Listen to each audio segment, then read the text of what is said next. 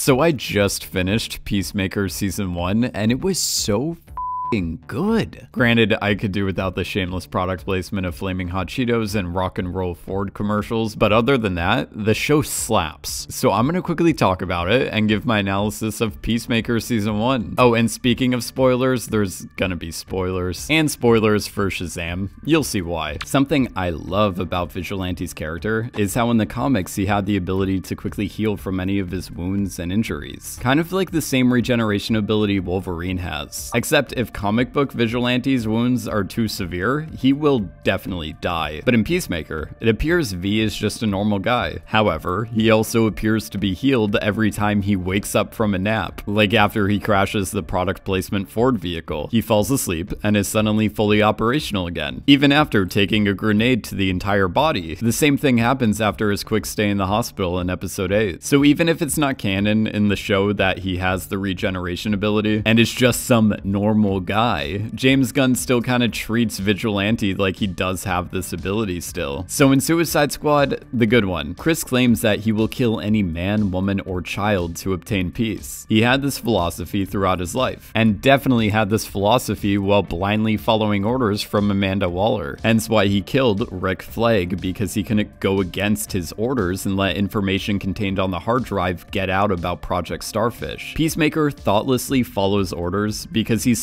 supposedly protecting our freedom, and using other vague excuses to justify the murder of those who don't necessarily have to die. Which is why people like Amanda Waller can get Chris to play the role of a villain, while he still thinks he's a superhero. In Suicide Squad, Chris pointlessly kills Flag to make sure the Project Starfish files don't get out. And as Amelia states, Funny for you how often the only choice in killing people coincides. Which is why Peacemaker's name and everything he stands for is a joke to people like Rick Flag. When he was a kid, Chris was forced to fight his own brother. Oh, and before I continue, I just have to say, I was dying when I realized Robert Patrick, who plays Chris's dad in Peacemaker, also played Johnny Cash's dad, Ray Cash, in Walk the Line. In Walk the Line, Ray Cash blames Johnny Cash for the death of his brother, and has the whole the wrong son died mindset throughout the entire film. So the casting in Peacemaker was just phenomenal. Anyway, Augie forced Chris to fight his brother, but during their fight, Chris accidentally delivered a fatal blow, which resulted in something fatal. It resulted in his brother dying. After his brother's death, Chris prayed and begged God that he would do whatever God wanted him to do as long as he could obtain peace. Since that day, Peacemaker swore that he would only kill in the name of peace. I thought it was poetic how, after finding out Chris got shot, his dad responds, You let somebody shoot you? I invited him to come shoot me, Dad. Pathetic. But then in episode 7, Chris takes out his dad in that exact way by shooting him. We learn that the butterflies destroyed their home planet and are now taking over humans and imposing their will on all of humanity, trying to stop us from destroying another habitable planet, possibly explaining why Judomaster teamed up with them, as Judomaster was probably in the same situation as Peacemaker, but chose the option not involving human torpedo. Both Peacemaker and the butterflies shared the similar belief system of killing any man, woman, or child to obtain peace. After turning down Goff's offer, Chris tells Leota that the butterflies were going to hurt her and the rest of their crew if he helped them. Chris and his brother bonded over rock music, and coincidentally, that's how he bonded with his new friends, establishing that this crew is his new family. So Chris is finally able to make the choice to not pointlessly kill someone because of some authoritative figure telling him what to do, and using his need to establish peace belief system against him. Does Peacemaker not taking Goff's deal essentially end the world and send us on a path of destruction? Most likely, but the most important part of Peacemaker's decision is choice. He gave himself and everyone else a choice. I thought it was a nice parallel how Chris began the series reflecting on the last words Flag said to him right before, you know, he died. Peacemaker. What a joke.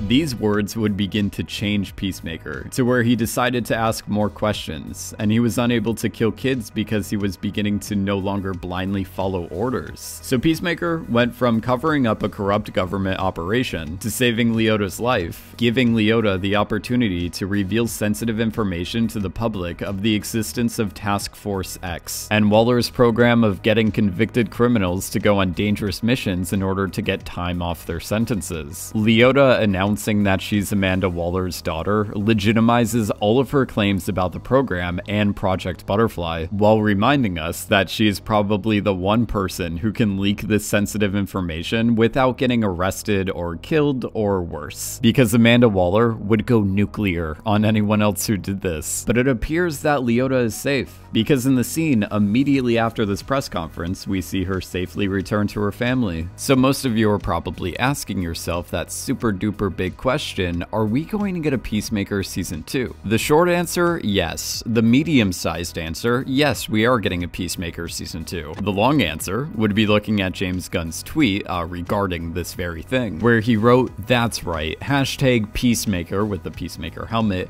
is coming back for season 2. Thanks to Peter Safran, John Cena, our incredible cast and crew, our wildly supportive and lovely friends at HBO Max, and mostly all of you for watching. And for those who don't know, James Gunn is the writer, director, producer, and creator of the show Peacemaker. And he also directed and wrote the most recent Suicide Squad, which means I am incredibly disappointed that we didn't see a Weasel cameo in Peacemaker, since the post-credit scene in Suicide Squad features Weasel wandering the earth. I appreciate that we got to see a legitimate Flash and Aquaman cameo, but I will say the Wonder Woman and Superman cameo reminded me of the Henry Cavill is clearly not standing here moment at the end of Shazam.